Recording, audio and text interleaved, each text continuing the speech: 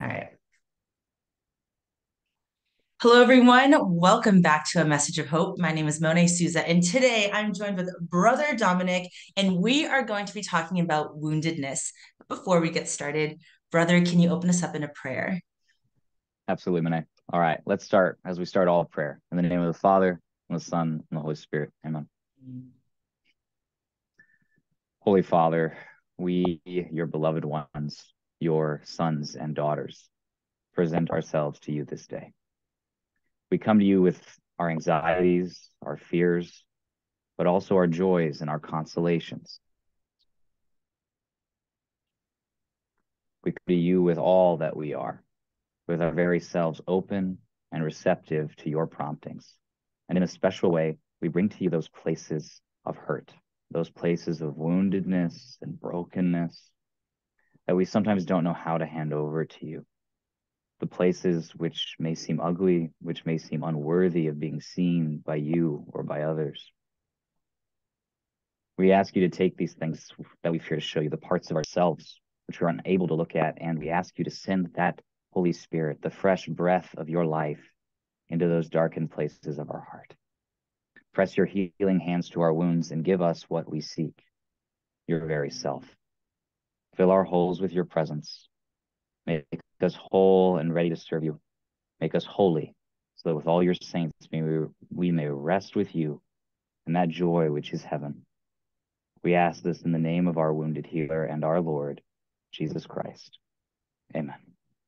In the name of the Father, and the Son, and the Holy Spirit. Amen. That was a beautiful prayer, brother. Thank you. So you are probably most well known. If anyone knows you at all, they might know you as Brother Dominick. That can be found on Instagram. They might know you as a Dominican friar. Um, Maybe some people have met you at Seek, like myself. I'm um, finally being able to meet you in person. But with all things to be said, you are also someone who I deeply admire with your faith. Um, you know, even through a screen, it is so evident when someone is close to their faith, close to our mother, um, close to our Lord. And I definitely see that in you. But of course, I don't know everything about you. Can you just formally introduce yourself to those who are watching? Yeah, absolutely. And thank you for that, like over the top, wonderfully warm. I got to live up to that uh, introduction now. Um, but so my name is Brother Dominick. I'm a Dominican friar, and God willing, in August, I'll make solemn vows for life. Um, so I've been in the order for about four years now. Um, before that, you know, I I was a journalism major from Indiana. Um, that I fully expected to go into the journalism world. Uh, and instead, the Lord had very different plans, preaching a different message, preaching a different truth. Um, but you know, it actually really starts with my family. Like, not to go into all of the story, but we weren't Catholic originally. Actually, my whole family we were Baptist originally. Um, but my mom and my dad were like, hey, Catholic school's pretty good, right? And so they sent us to the local parish school, St. Vincent de Paul. And it was there that my brother and I start coming home with questions, you know, because we're going to mass, we have religion class.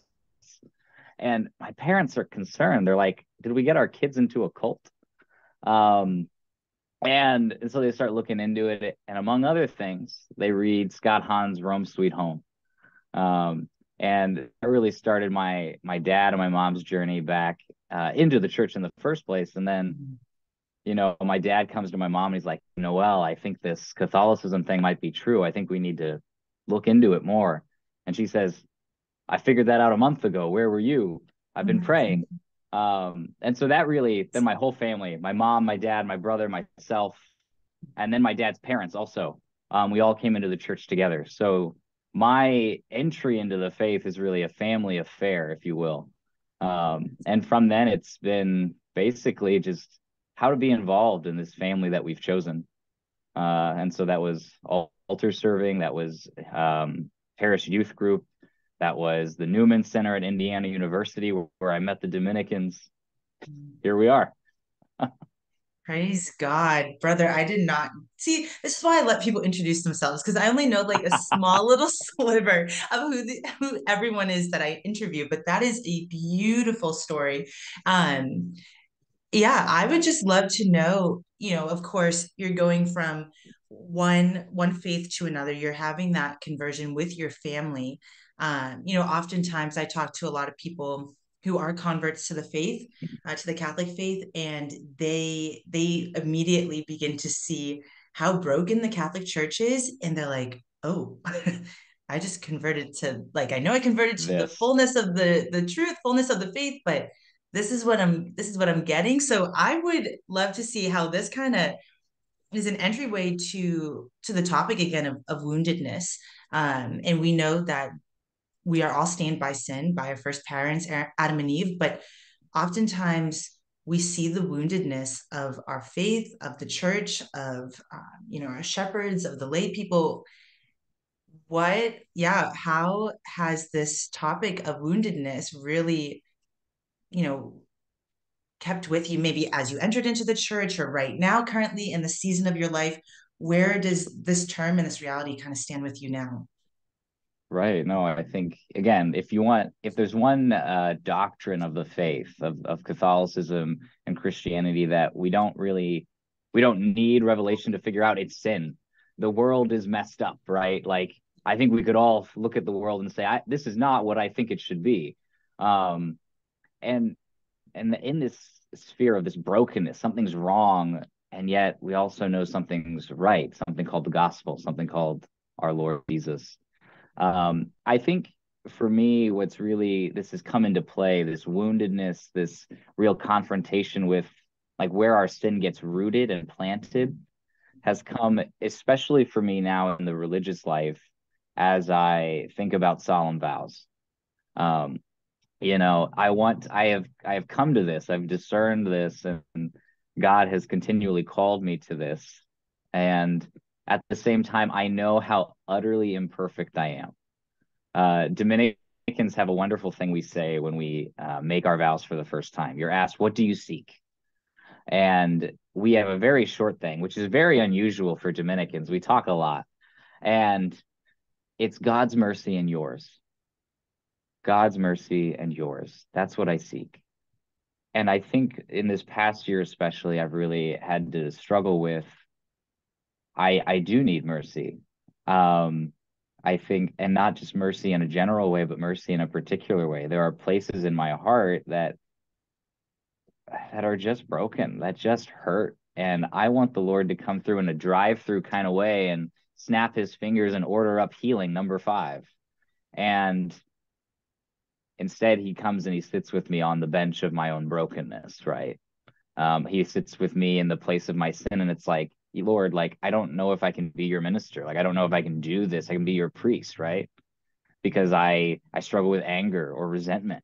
I struggle with just like the constant comparison or perfectionism, right? Like, and so then I busy myself with everything under the sun to try and hide from that woundedness. And he's just like, my son, sit down. Sit down and listen to what I'm telling you.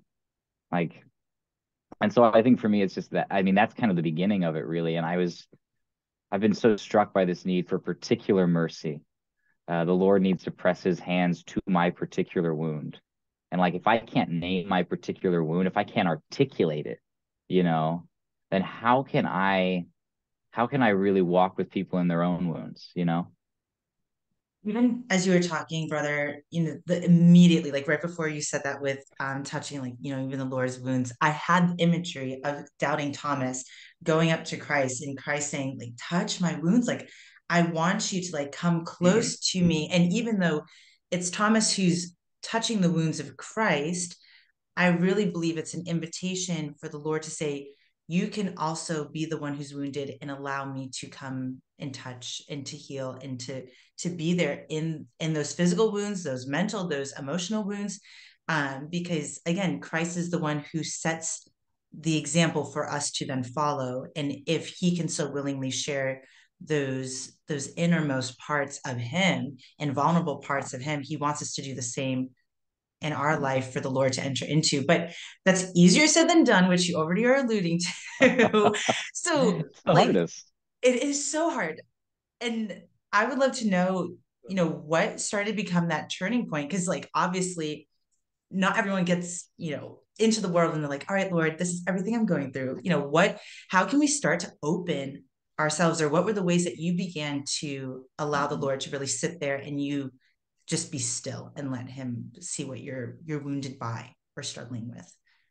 Yeah, you know, I think it this past summer I was working as a missionary in Wisconsin doing youth ministry, working with high school and middle schoolers. Wonderful time, but like every week a new place. I basically a 15 hour day every day. I mean, it was and like finding the time for my contemplative life as a religious, uh, very difficult. And in that, like I also had um just some bodily, some health stuff come up that just like some intestinal stuff that just really was challenging to me and and my ministry. And I, I realized you know i'm not I'm not giving my best. I'm not giving my best.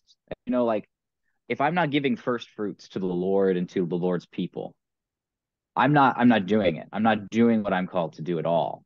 Um and so for me it was kind of that realization like i'm coming here on empty every day and the people of god do not deserve mediocrity the people of God, like if I'm going to serve them, they I need to serve them with my best.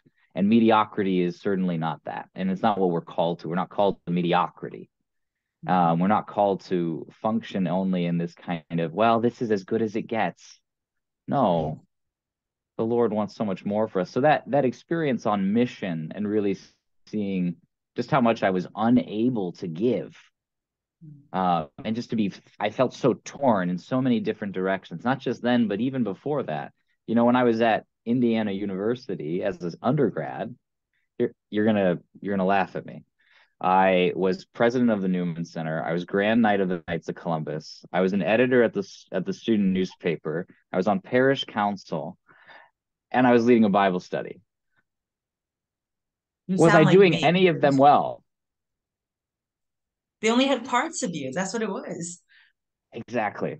You know, and if I can't give my whole self, if I can't go 100% in for the Lord and for his people, like I'm not doing it right. I'm not I'm not ready to do it right, you know. So it's just it's been a gradual process. I think it's taken me years. It's taken me 4 years of formation to be able to articulate this.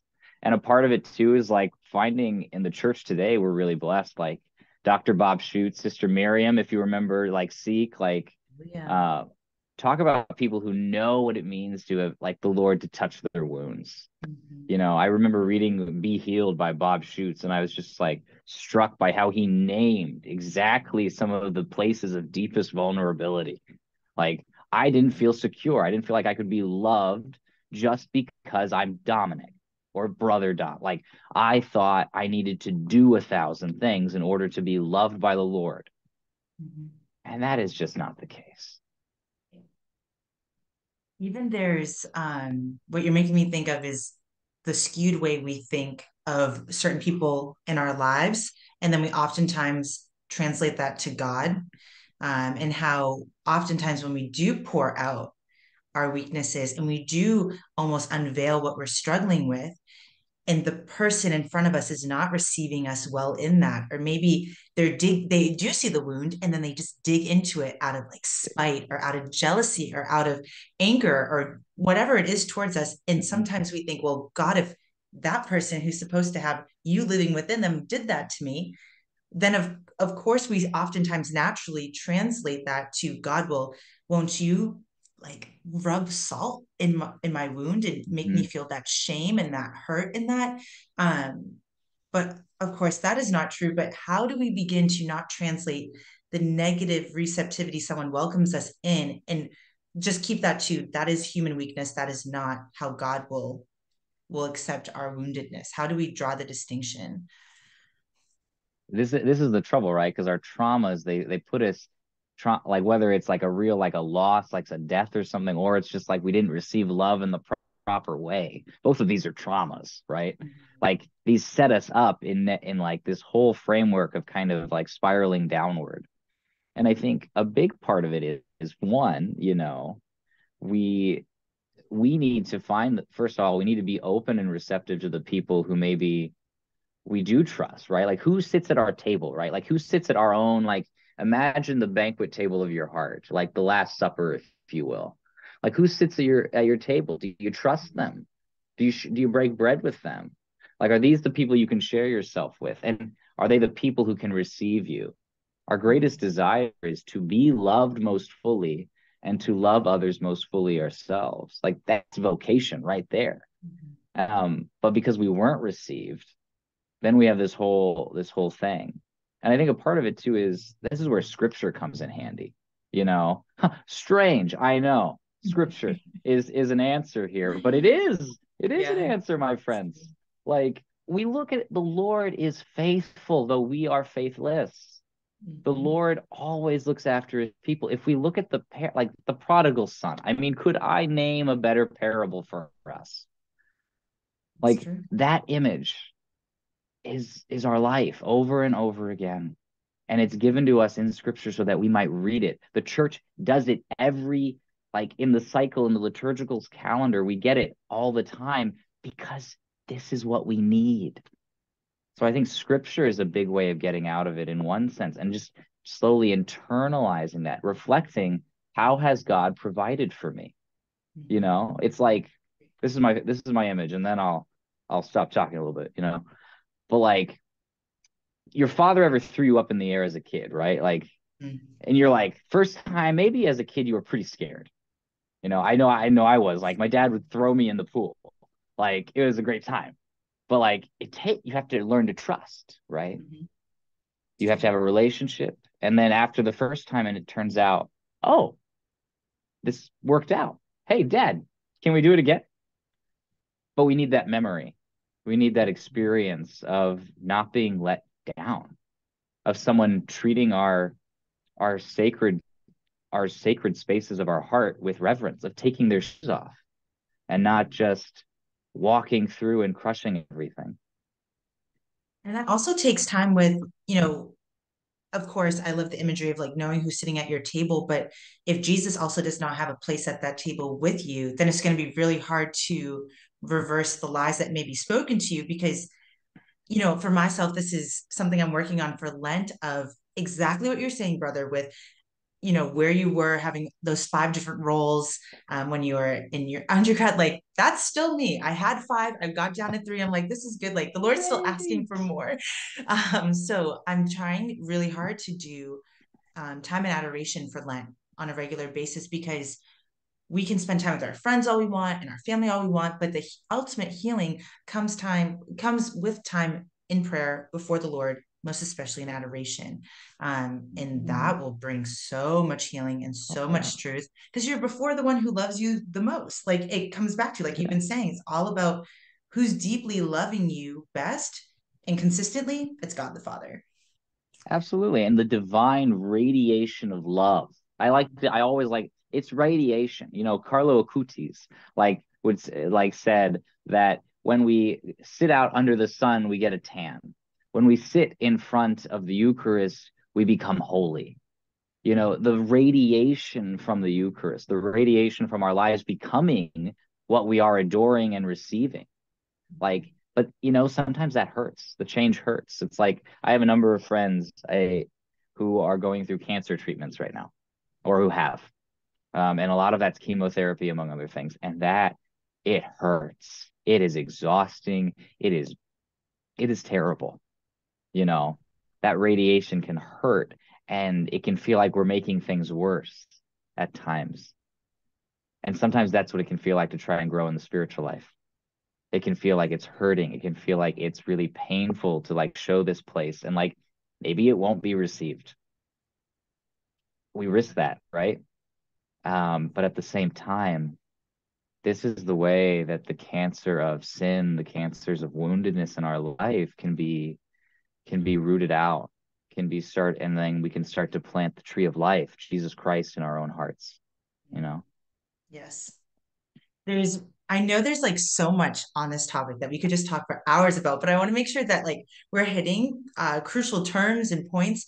The one that I would love to start moving into, brother, is wounded healer, um, and what this could look like because oftentimes myself included whether it's going into a relationship a friendship a new workplace wherever um, vocation, we think I must be completely perfect and everything I've ever gone through must be all tied up with a pretty bow. And then I can enter into like whatever the Lord has in store for me. But that is not the case.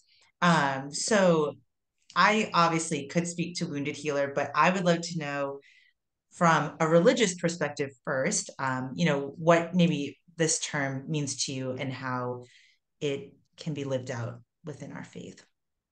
Yeah, I think this is a great. I love this question. You know, I read in the novitiate my first year in the order. I read Henri Nouwen's book Wounded Healer, um, and that has put me on a certain trajectory ever since. And I think what he articulates there is so good. You know, religious our goal, well, for Dominicans in particular, it's to preach and teach for the salvation of souls.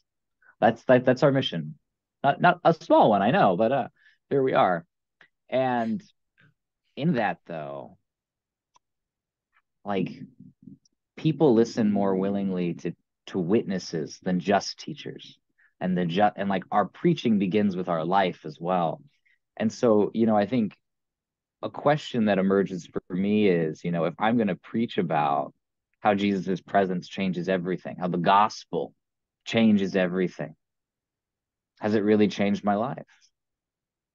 You know i think this wounded healer, it means being, again, if I need to be able to articulate my wound, my places of hurt, the places where I was not loved as I needed to be loved, the places where, you know, it, and again, to name it and not to be ashamed of it and say, well, I know other people have suffered more, or I know that this is not like a real, no, it hurts.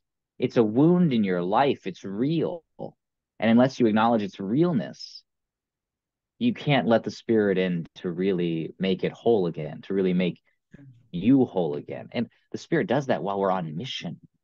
This is the amazing thing. As we begin to let the Lord walk with us through our own wounds, through the geography of our hearts, you know, with the canyons and the cracks and the places of darkness, we we gain other people on the journey with us who are walking through their own hearts, walking through the the geography of their own lives. But because we've been walking with the Spirit, because we've been walking with our Father, our hand in His hand, we can start to create a map for all of us. I think that's the goal of religious. I think if we if we think our religious or our priests are perfect, we're going to be disappointed. I think the abuse scandal has done that to us. I think I think we have been humbled. And I think we I I think it is a in that sense a good thing that we have been humbled because we are not perfect and that is the exact kind of mentality one needs to enter into the desert to let the Lord walk with us and show us the geography of our hearts, and then to gather others in as we journey towards that destination of the Father's heart. Yeah, that's well said, brother. Even something that I would love to add as well, um, just from a perspective that I gained as I was telling you a little bit before starting the episode, is I was at Franciscan University. The household I was in was Daughters of Zion, and the whole trajectory of the household was obviously following following after Our Lady, First Daughter of Zion, but also really leaning into um, praise, being a wounded healer, and then the mercy of of our Lord. And we leaned into Saint Faustina quite a bit um, in the time frame that you're a sister in this household. So with wounded healer, when that came up, something that really brought perspective and also taught prudence within um, this group of women that I was walking with is if it still hurts to touch the wound and like even with the like imagery like say you got a cut um and you know like obviously the band-aid's still on it and each time you try to like open it up like it's still like very raw yeah. and you're like touching it and you're like why are you still still touching that? Like it's clearly still like bleeding or like healing. Don't you don't like be prudent on who or what you share that struggle with. Like if that's something that still needs to stay between you and the Lord, still needs to stay between you and that person you're seeking healing from within the confessional, like keep it there. But if you can look and you know, like from when I was a little kid, like I have scars all over me, like from the like sports I played, like I you can see like we all have scars. If you can poke at something or speak to something that happened or that you've struggled with in your life, and it like yeah, like you know that you've been wounded there or whatever it may be, but you can speak from a place of I can speak to this because I've been healed from this. Um, and that is usually a good rule of thumb that these women were walking us through of this is when you know the prudence of what to share in which you have struggled with or struggling with. So I'd love to know is like, because that's just the place out of being a wounded healer that I've heard of, like, obviously not pretending you have it all together, but knowing like if you're going through something still you're healing yeah. from, don't share with everyone. What yeah. are your thoughts on that? Oh, I think please, yeah, do not think that when I like well, like our wounds are like part of the geography, part of like what gets us places like that. You need to share everything with it. Like again, who's at your table? Who do you trust? Who has mm-hmm. earned a right to the truth that rests your heart? You know, like the Lord is certainly there, but others, who have we let in? Who should we let in? Not everyone. I think for mm-hmm. me too, a thing to just say to to add to this too is when we have a scar, you know, I think sometimes we can think these mar us, these make us ugly, you know. Um, but at the same time, they make us utterly unique.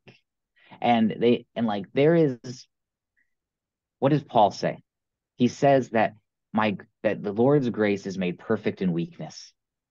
Sometimes our wounds can be inverted by the Lord. They can be turned inside out, and our scar becomes a mark of real glory, a mark of like of a wonderful presence of grace. So maybe what the what our enemy the devil has done and maybe what our own sin has done is take this place of woundedness and it's made it a place of isolation for us. You know think of someone who struggles perhaps with pornography or with lust you know that i mean so prevalent in our culture today.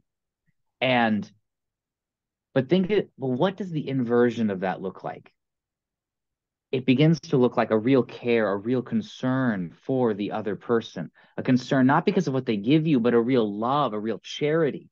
Think of the person who is always angry and resentful. How can they build up? How can they, how can the Lord invert that if we let him? Our wounds aren't just scars that we have to live with. They're places where the Lord's power reigns if we let him. The Lord sets up his throne in our woundedness. That's where he wants to reign from.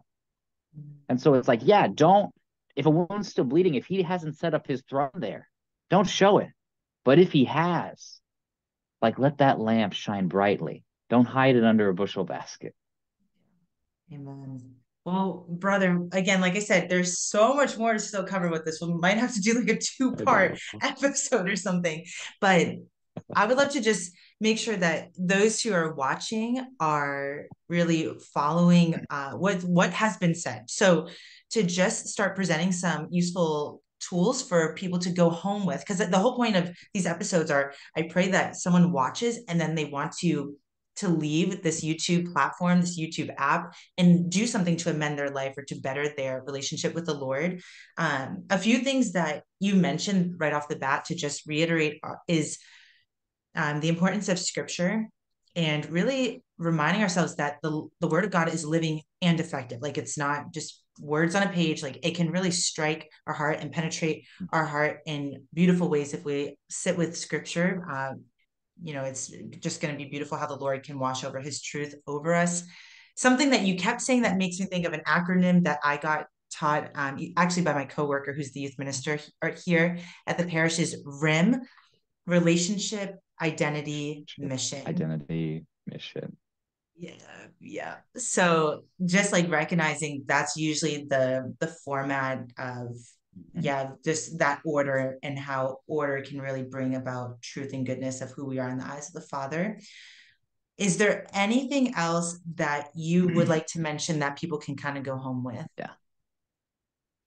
Yeah so you know i think one we need to remember the sacrifice here. The sacraments are medicine, they are for healing, in particular, confession. Um, I hope we're going to confession regularly, everyone. But you know, even if we're not, to trust in the Lord's mercy, to put ourselves out there and to really ask, Lord, I need your gentleness here. And in that, when we make our examen, I think there's something important we can do. We often confess the, the fruits. We confess gossip or resentment or judgment. And good, please go confess those. But but what is at the root of those? You know, the devil has planted woundedness, a tree of the knowledge of good and evil. and we are sure we know what is good and what is evil, and we do not know. No, no, no. We're relying on ourselves so often. So how do we track those down? Where does this wound come from? Why did I why do I fall into gossip? Is it because I really have this deep-seated wound of maybe I don't feel loved myself, and so I break other people down because I'm insecure, um, because I didn't get love as a when I was younger. So like, don't just confess the fruits, but let's cut the roots of the tree in our heart and really invite the Lord to help us chop that off because it's not that the sacrament of confession's not efficacious otherwise, but like our hearts, we need to open them wide to the Lord. The more we open our hearts to Him, the more discernment and more self knowledge we have, the more the Lord can work His grace in us. St. Catherine teaches us this. She's my bossy older sister in the spiritual life. But the more self knowledge we have, the more the Lord can enter into our lives. So I would just invite you to that exam and to really trace the fruits of your sins, maybe. Yeah. And even there's a beauty too of having a frequent confessor. Like I've had the same priest hear my confession for the past, I think, two years now. And there is like, yes, there is the seal of confession. It's not like he's saying to me, Oh, Monet, I remember how two weeks ago you confessed X, Y, and Z, but there is the he's he is walking with me in each confession that I have mm-hmm. with him, where he can um, maybe give me some a penance or something to really just shape and change my life, so I don't feel like I'm staying within that same sin. And they priests really can walk with us well, or even spiritual directors. Um, and as you mentioned, brother, just the beauty of, in addition to reading scripture, just uh, you know, reading from Bob Schuchts, Sister Miriam James Heidland, and these wonderful Catholics who are within our sphere and within our grasp of looking into even their resources to help us um, really live out of this yeah. place of wounded healer. Yeah. And I'd say finally, you know, just one last little thing is just to say, hey, come, Holy Spirit you know that at the end of the day this is the simplest prayer and just the desire to have god enter into our lives is a great prayer and so come holy spirit come holy spirit and enkindle in our hearts the fire of your love. You know the fire that burns up anything that is not what god desires for us.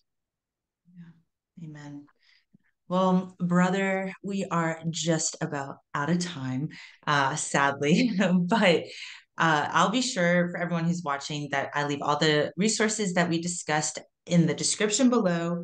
Um, and then also, I can leave, if it's okay with you, brother, your social media uh, handle on Instagram. So if anyone wants sure. to follow and just continue to receive so much goodness that you speak out of.